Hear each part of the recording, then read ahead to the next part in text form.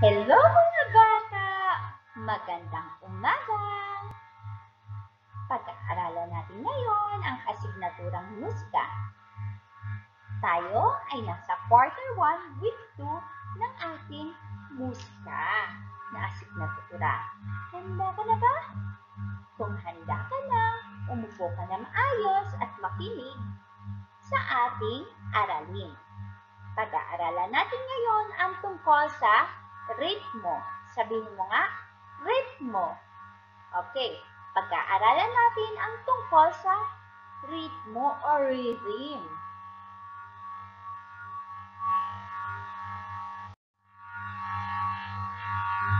Para sa ating layunin, pagkatapos ng aralin, inaasahang makikilala mo ang mga madaliang ostinato na dalawahan, tatluhan, at apatan na kasabay ng galaw ng katawan tulad ng pagpalakpak, pagtapik, pagmarcha, pagsayaw, at iba pang paraan.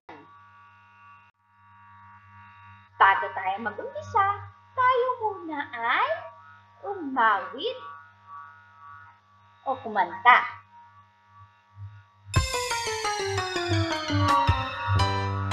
Kung ikaw ay masaya, tumawa ka. Ha ha ha. Kung ikaw ay masaya, tumawa ka. Ha ha ha. Kung ikaw ay masaya, ang buhay mo ay sisigla. Kung ikaw ay masaya, tumawa ka. Ha ha ha. Kung ikaw ay masaya, pumadyak ka. Kung ikaw ay masaya, pumadyak ka kung ikaw ay masaya, ang buhay mo ay sisigla. Kung ikaw ay masaya, pumadya ka. Kung ikaw ay masaya, pumalakpak. Kung ikaw ay masaya, pumalakpak. Kung ikaw ay masaya, ang buhay mo ay sisigla. Kung ikaw ay masaya, pumalakpak kung ikaw ay masaya, gawing lahat Ha ha ha!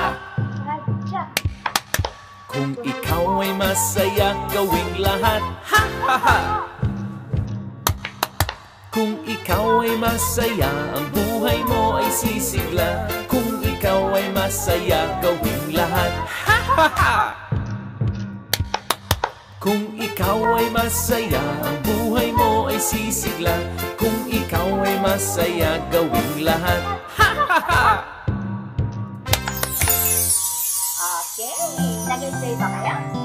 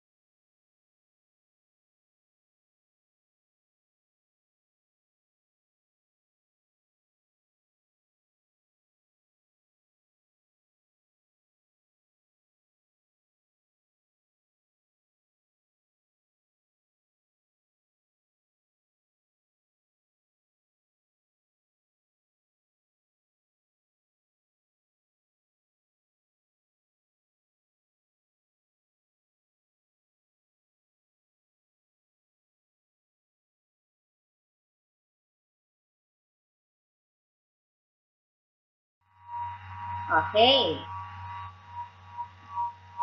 Ano ang ninyo napansin habang ikaw ay pumapalakpak at pumapadyak. Okay. Pumalakpak nga. Palakpak. Okay. Sige nga. O, pumadyak ka naman. Padyak ng tatlong beses. Okay. Anong napansin mo? Ikaw ay mayroong narinig na tunog. Very good.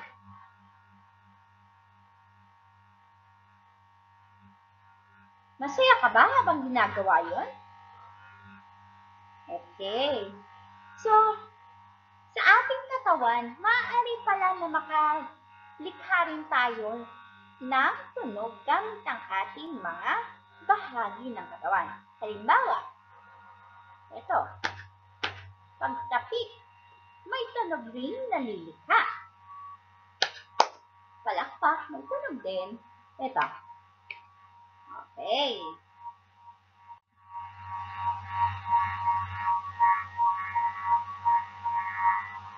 Basahin nga natin. Ang ritmo o rhythm ay ang tunog o katahimikan na nakapaloob sa isang bahagi ng awit. Sabihin mo nga, ritmo. O sa English ay rhythm. Sabihin mo nga, rhythm. Okay. Pag sinabi natin ritmo, ito ay pagsasama ng tunog at katahimikan sa isang awit. Okay. O sa musika. Pag pinagsama mo yung tunog at katahimikan sa musika, ang tawag dyan ay ritmo. Ito ay ang pagsasama-sama ng tunog at ng katahimikan na nasa tiyempo.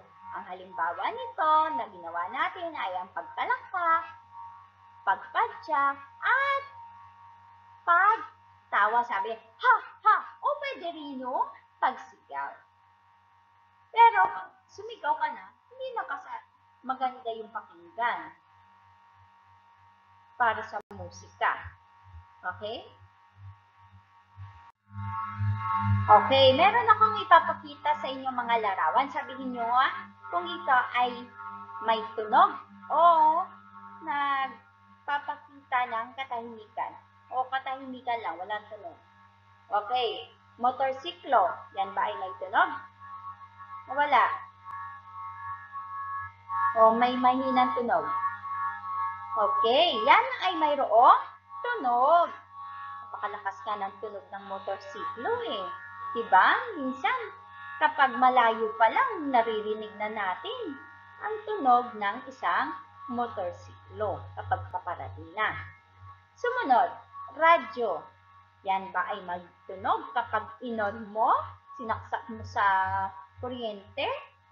Nakalilikha ba ito ng tunog o hindi? Wala ba itong tunog? Yan ay mayroong tunog. Nakalilikha ito ng tunog. Ito naman, ang tahol ng aso. Yan ay nakalilikha ng tunog. Dahon. Yan ay katahimikan lamang. Wala tayong maririnig na tunog kahit na mahinang tunog dito. Kahit kapag pinaypay mo pa yan, wala pa rin. Yan ay katahimikan. Sumunod, mangga. May tunog ba yan na nalilikha? Wala. Katahimikan pa rin. Sa ating paligid ay may mga bagay tayong naririnig at mayroon namang mga bagay na hindi nakalilikha ng tunog. At yan na nga ang halimbawa, ilan sa mga halimbawa ng mga bagay na yon. At marami pang ibang mga bagay na maaari kayong maging halimbawa ng mga uh, may tunog na malakas at ma- mga bagay na walang nalilikhang tunog. Okay. Gaya ng musika, ang mga bagay sa paligid ay mayroon ding ritmo o rhythm. Okay. Ito, ano ba yan?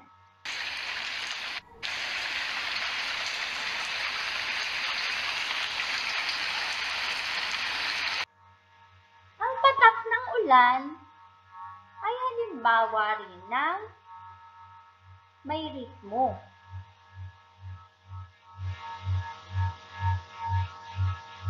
Ito naman.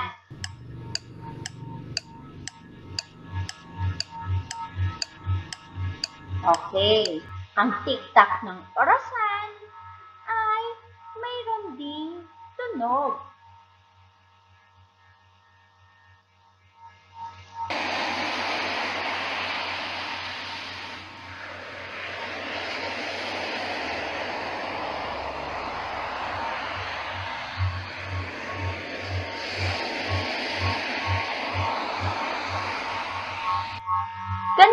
Ang daluyong sa dalampasigan o yung waves, alo ng tubig sa dagat.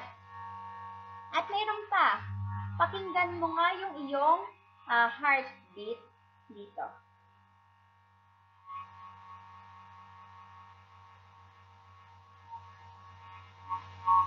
Okay, ang tibok ng ating puso ay halimbawa lamang ng ritmo. Ito din. Alam niyo ba kung nasan yung ating pulso? Okay, pakinggan niyo nga dito sa may kamay. Dito. Okay. Maririnig natin yung beat ng ating ah, pulso. Pulse rate natin. Okay. Kung hindi nyo marinig dyan, dito naman sa ilalim ng ah, sa may gilid na leeg. Dito. Nakikita? Ito, ito nga, ah, gamitin nyo dalawang daliri lamang para madali nyong maramdaman. Tapos linan nyo ng konti.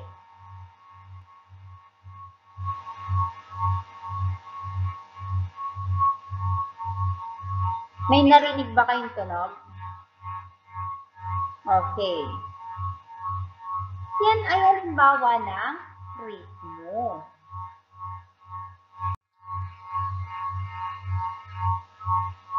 Ang kumpas ng isang awit o piyesa ng musika ay tinatawag na pulso o pulse. Parang sa pinakinggan nating pulso sa ating ah, katawan. Okay. Hihinto ang kumpas ng awit kapag tapos na ito. Sa musika, pahinga o rest ang tawag sa kumpas na walang tunog. Ibig sabihin, walang tunog o katahimikan sa kumpas, pero may kumpas pa rin. Ganon sa musika. Sa musika, ito ay atin ding ginagamitan ng simbolo. Okay, yan ay patayong guhit. Ang maikling guhit na patayo ay sumisimbolo sa tunog. Tandaan nyo ha, kapag mayroong maikli na patayong guhit, ang simbolo nun ay tunog. Sumunod naman, ito ay quarter rest. Ang quarter rest naman ay sumisimbolo sa katahimikan. At ito ang bar line o yung mahabang guhit na patayo. Ang bar line o panghati ang nagahati sa bilang ng kumpas sa loob ng isang sukat ayon sa palakumpasan o beat. Okay, naintindihan? Tandaan ang mga simbolo sa musika. Kapag tunog, yon ay maikling guhit na patayo. Kapag katahimikan naman, quarter rest. Ganyan ang itsura, ha? At bar line, yung panghati sa loob ng palakumpasan o sa loob ng isang sukat. Ayon sa palakumpasan. Nabibilang natin ang mga guhit sa measure na kumakatawan sa kumpas upang matukoy ang bilang ng kumpas ng isang awit. Ang kumpas ay maaaring dalawahan, tatluhan, o apatan. Mamaya pag-aaralan natin yan. Malalaman niyo rin. Okay, balikan natin. Anong simbolo ang ginagamit natin sa musika upang maipakita ang tunog at katahimikan? Sabihin mo nga. Okay, very good. Kapag meron tayo nakitang maikling patayong guhit, yun ay sumisimbolo sa tunog. Okay. Paano naman kapag katahimikan? Ano yung tsura nito? Yung pagganon. Okay. Yan ay ang quarter rest na sumisimbolo sa katahimikan. Okay, ngayon pag-aralan natin. Kapag ganito, pumalakpak ka ng isa, yan ay sumisimbolo sa tunog. At tataas ang kamay ng ganito kapag sumisimbolo sa katahimikan. Okay? Nakuha? Okay. Kapag meron merong tunog ang bagay, ang gagawin nyo, papalakpak kayo. Kapag wala naman tunog, tataas lang ang kamay. Sabayan nyo ako, ha? Okay. Tambol. Okay. Isang palakpak lang. Oh, very good. Sumunod, telepono. Isang palakpak ulit. Sumunod naman, bag. Papalakpak ka ba o tataas ang kamay? Okay, ganito. Yan ay walang tunog. Orasan ng alarm clock. Okay. Radyo. May tunog yan, kaya palpak. At mesa. Walang tunog. Okay. Pagmasdan ng mga larawan, ano napapansin nyo? Natatandaan mo ba ang simbolo sa musika? Yan, ang tawag dyan ay pulwarang ritmo na mayroong sukat na palakumpasan. Mamaya pag-aaralan natin yon, malalaman nyo kung ang sukat ay ah, dalawahan, tatluhan, o apatan. Okay. Yan ay. Okay? Ang isang rhythmic pattern ay binubuo ng mga tunog at walang tunog o katahimikan ayon sa kumpas nito. Ang simbolong maikling patayong guhit at quarter rest ay ginagamit upang makabuo ng iba't ibang kombinasyong rhythmic pattern o kulwarang ritmo. Okay? Ngayon, ipalakpak ang mga sumusunod na rhythmic pattern habang binabasa ang bilang. Pansinin ang quarter rest. Kapag may nakita kang quarter rest, ibig sabihin ay hindi papalakpak. Ulitin ko ha. Bibilangin natin. Tapos papalakpak tayo sabay. Okay. Ready? One. Two. One. Two. Okay. Ulitin natin. One, two. One, two. Okay. Ang tawag dyan ang ah, rhythmic pattern niyan ay dalawahan. Ang bilang niyan ng kumpas na yan ay dalawahan. Ulitin natin. Dalawahan ha. Isa, dalawa. Isa, dalawa. Okay. Sumunod. Okay, sabayan natin ng palakpak ha. Ang bilang. One, two, three. Tagalog naman ang bilang. Isa, dalawa, tatlo. Okay, mabilis. Isa, dalawa, tatlo. Isa, dalawa, tatlo. Okay, ang rhythmic pattern naman na yan ay tinatawag na tatluhan. Kasi meron niyang katumbas na tatlong kumpas.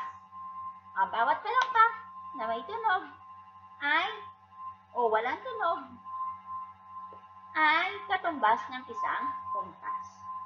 Okay, sumunod. Isa, dalawa, tatlo, apat. Isa, dalawa, tatlo, apat. O, ulitin naman natin. Isa, dalawa, tatlo, apat. Isa, dalawa, tatlo, apat. Ang rhythmic pattern naman na yan ay tinatawag na mayroong apatang kumpas o palakumpasan. Okay? Okay naman. Magbilang. Isa, dalawa, tatlo, apat. Okay. Sumunod. Tingnan yung rest ha, yung quarter rest. Kahit may quarter rest, meron pa rin yung katumbas na um, na bilang o kumpas. Okay. Isa, dalawa, tatlo, apat. Hindi ka papalakpak. Isa, dalawa, tatlo, apat. Ah, ulitin natin ha. Isa, dalawa, tatlo, apat. Isa, dalawa, tatlo, apat. Okay, ang bilang din niyan ng palakumpasan ng kulwarang ritmo o hu- rhythmic pattern ay apatan. Kasi yung isang quarter rest, ang katumbas niyan ay isang kumpas. So, kaparehas siya ng nota ng isang kumpas. Okay. Kaya ang palakumpasan niyan ay, o ang kumpas niyan ay apat. Palakumpasan. Okay. Sumunod. Isa. Dalawa. Isa. Dalawa. Okay. Yan ay dalawahan. Ulitin natin. Isa. Dalawa. Isa. Dalawa. Okay. Mas mabilis kapag dalawahan. Naintindihan ba? Okay. Tingnan ang pattern ng mga larawan na nagpapakita ng tunog at katahimikan. Ilagay sa ilalim nito ang simbolo ng tunog, yung maikli na patay guhit, kung may tunog, at quarter rest kung katahimikan o walang tunog, upang makabuo ng rhythmic pattern. Okay. Tito, may tunog ba wala? Yan ay may tunog. Okay. Sumunod, tito, may tunog din. Manika. May tunog wala? Wala po. Kaya yan ay rest.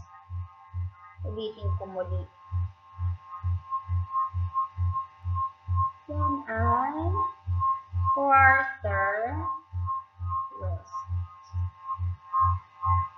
Sumunod, dito, may tunog. Dito may tunog. Manika, walang tunog, kaya quarter rest. Okay.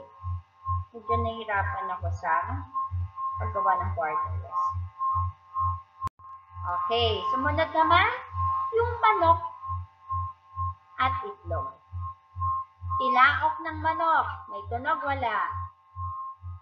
Meron, kaya yan ay simbolo ng tunog na patayo.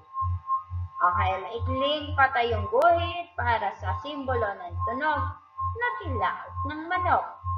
Sumunod naman ay ang itlog, simbolo ng katahimikan ng quarter rest para sa itlog. Ito naman, ang tilaok ng manok ay may tunog. Kaya, may pa tayong guhit. Isa pa, meron pa ulit, may pa tayong guhit. At ang itlog ay walang tunog. Kaya, may, lalagyan natin ng quarter rest. Ang rhythmic pattern na ito ay mayroong tatluhan na palakumpasan. Okay, ganito yan. Sa dalawa, tatlo. Sa dalawa, tatlo. Okay. Hindi naman sinabi na ito teacher, pero para alam nyo din yung pattern na yan. Okay. Sumunod naman ay ang uh, torotot. Laruan nga lang siya. Pwedeng, ano ba yan? Saxophone, trumpet, trombone. Okay, yan ay may tunog. Kaya, isang may patay guhit. Isa pa. Pa. Papel. May tunog ba ito? Wala. Yan ay katahimikan. Kaya iguguhit natin ang quarter rest. Ito naman, may tunog, may tunog, may tunog, papel, walang tunog. Kaya katahimikan, at ang iguguhit natin ay simbolo ng katahimikan na quarter rest. Okay. Iba ka. Yung rhythmic pattern niya ay mayroong apatan. Okay. Sa dalawa, tatlo, apat. Sa dalawa, tatlo, apat. Okay. Madali lang, di ba? Okay. Para sa gawa, gawain sa pagkatuto bilang isa, tingnan ang larawan ng mga kamay.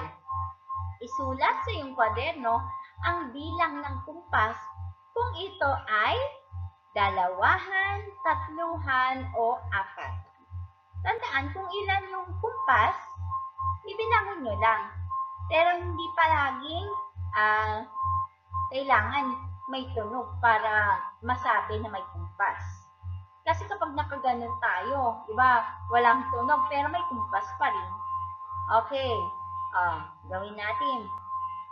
Bilang isa, yan ba ay dalawahan, tatluhan, o apatan?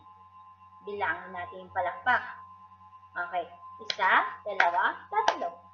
Kaya, ang sagot ay tatluhan. Tama ka ba? Oh, very good. Sumunod, bilang dalawa. Palakpak natin ang kumpas. Isa, dalawa, tatlo, apat. Kaya, ang kumpas nito ay apatan. Nakatama ka ba? Madali lang, di ba? Very good. Okay, sumunod naman ay bilang tatlo. Isa, dalawa. Ang bilang ng kumpas nito ay dalawahan. Kasi meron lang itong dalawang kumpas. Sumunod naman, bilangin natin ulit ang kumpas. Isa, dalawa, tatlo, apat. Okay. Ang bilang ng kumpas nito ay apatan. Okay, bilang lima. Isa, dalawa, tatlo, apat. Ay, tatlo lang pala. Sorry. Okay, ulitin natin. Bilang lima. Isa, dalawa, tatlo. Okay, ang bilang nito, ang bilang ng kupas nito ay tatluhan. Okay.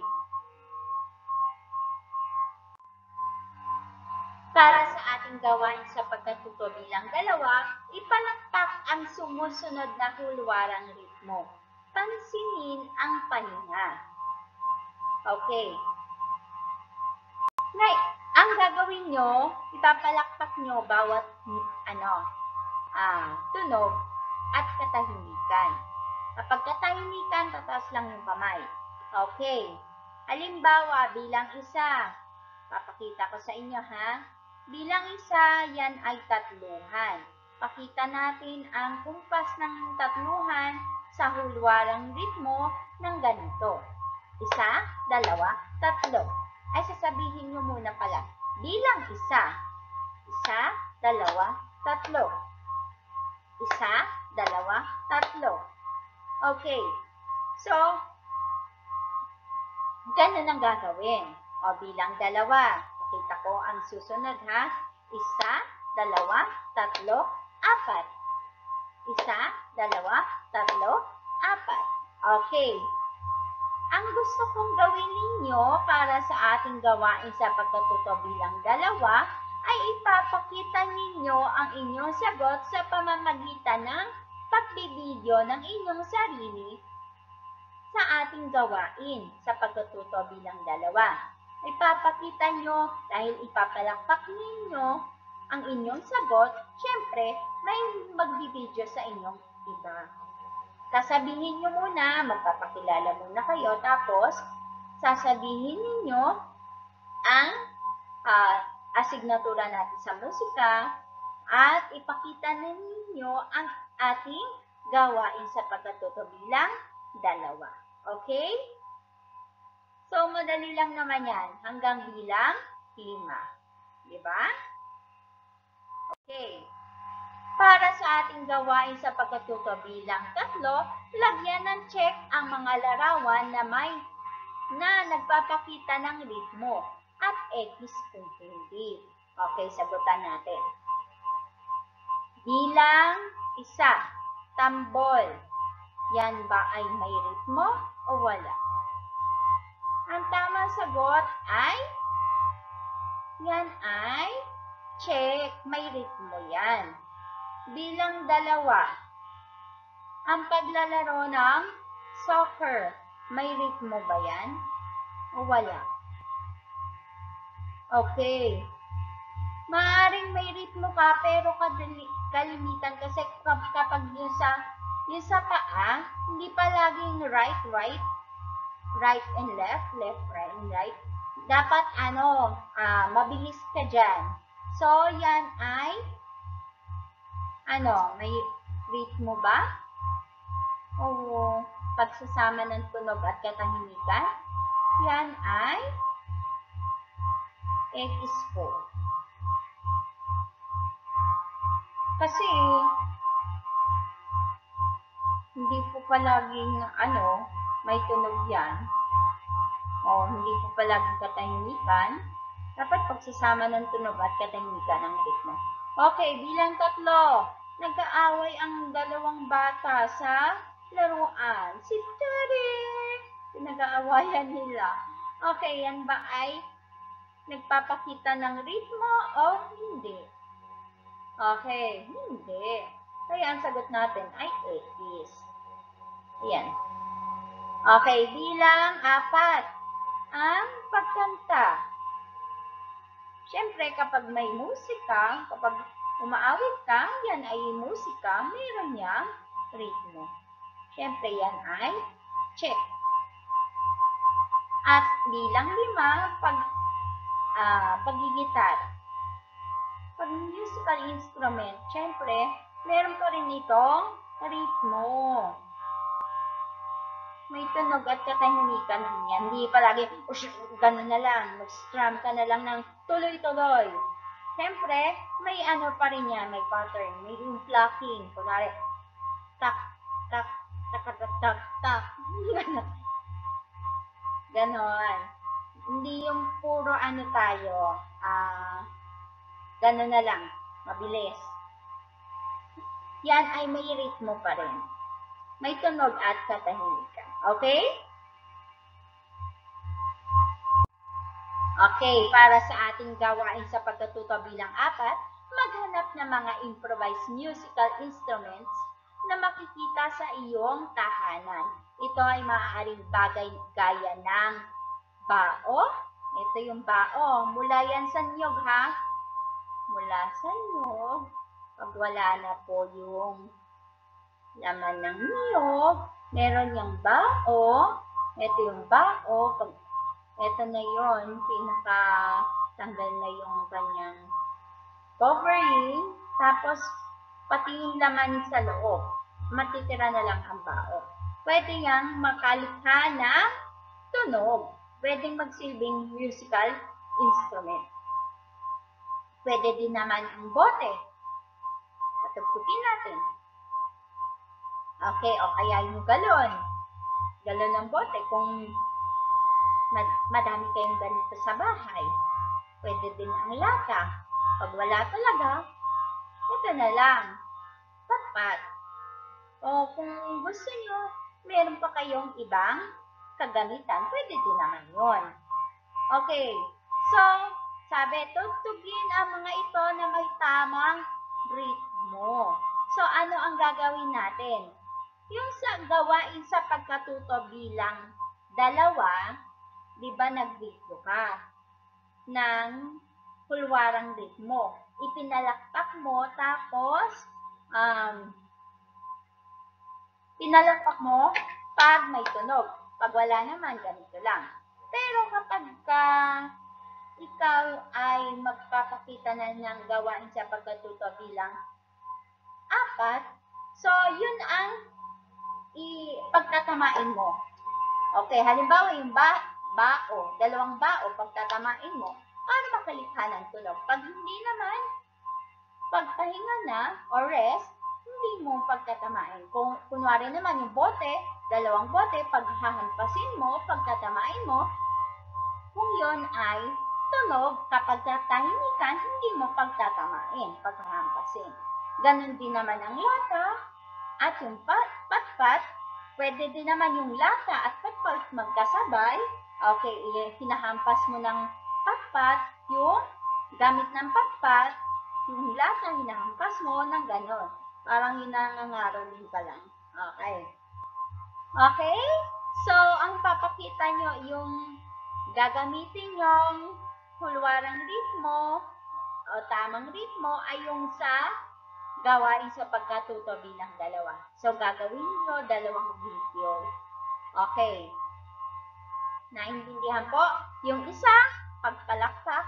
Yung pangalawa, gamit ang mga iba't ibang mga kagamitan. Ang tawag dyan ay improvised musical instruments.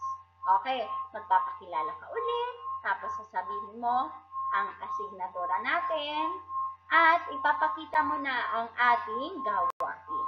Okay? Para sa ating gawain sa pagkatuto bilang lima, iugnayan larawan sa letra na angkop sa hulwarang ritmo. Okay. Kapag ganito ang drawing, yan ay sumisimbolo sa tunog o yung pasal. Kahabang uh, maikling guhit. Maikling patayong guhit. Ito naman ay sumisimbolo sa katahimikan o yung quarter rest. Ang katumbas niyan sa hulwarang ritmo. Okay, yan ang bilang isa, bilang dalawa, bilang tatlo, bilang apat, at bilang lima. Ito naman ang katumbas nila na huluwarang ritmo. Okay, isipin nyo nga kung alin ang iugnay natin sa letrang A. Nagkat ganito ang katumbas na larawan. Letrang B, letrang C, letrang D, at letrang E. Okay, sagutan naman natin ngayon. Bilang isa, alin dyan ang tamang sagot? Okay, ang tamang sagot ay letrang E. Okay, ito ay may isang kulwarang. Yung katumbas niya, ito ay tunog, tunog, tunog, katahimikan. Okay, kaya yan ay letrang E. Okay. Sumunod, bilang dalawa, tunog, tunog, katahimikan, at tunog. Okay, alin dyan? Okay, letrang A. Sumunod, tunog, katahimikan, tunog, tunog. Okay. Alin? Letrang C. Okay. Tunog, katahimikan, tunog, tunog. Letrang ay, mali pala yung bilang tatlo natin. Ito ay katahimikan.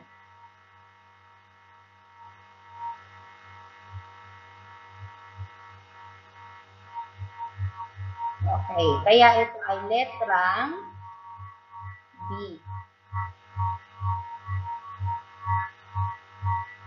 Letrang B yung bilang tatlo. Okay, bilang apat, letrang C. Okay. Ah, bilang lima, tunog, tunog, tunog, at tunog, letrang B. Okay. Naunawaan mo ba ang ating aralin? Okay, very good. Huwag kakalimutan na gawin mo ang ating gawain sapagkat ito bilang dalawa at bilang apat. I-video ang iyong sarili at ipasa ito sa ating Google Classroom. Okay? At dito nagtatapos ang ating aralin. Maraming salamat sa inyong pakikinig sa ating aralin, gayon din sa inyong kasama sa bahay na gumagabay para sa ating aralin. Hanggang sa susunod nating pag-aaral,